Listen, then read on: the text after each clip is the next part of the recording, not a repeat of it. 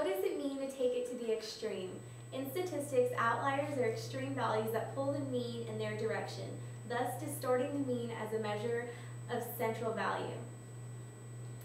One common example that's usually used is whenever teachers are taking grades and trying to calculate what the mean is.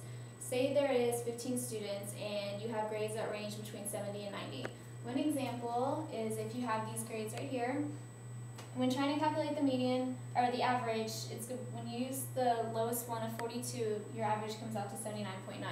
So an outlier is obviously an, a value that's farther away from all the other values. So whenever you disregard that value, then your average is going to be 82.6.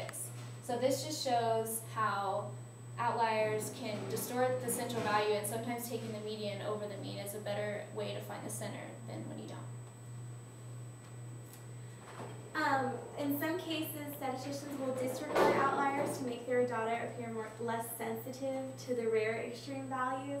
However, they do note, their, note the outliers in their graphs when they're showing their data. For example, they'll use asterisks or circles when they're showing box plots to show the outliers. Or in a histogram, it'll be just the very furthest um, box that is furthest from the weight of the information.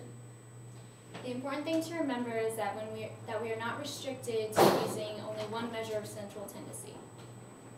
Whatever the case, outliers are extreme values that need to be considered before drawing conclusions and interpret, interpreting data.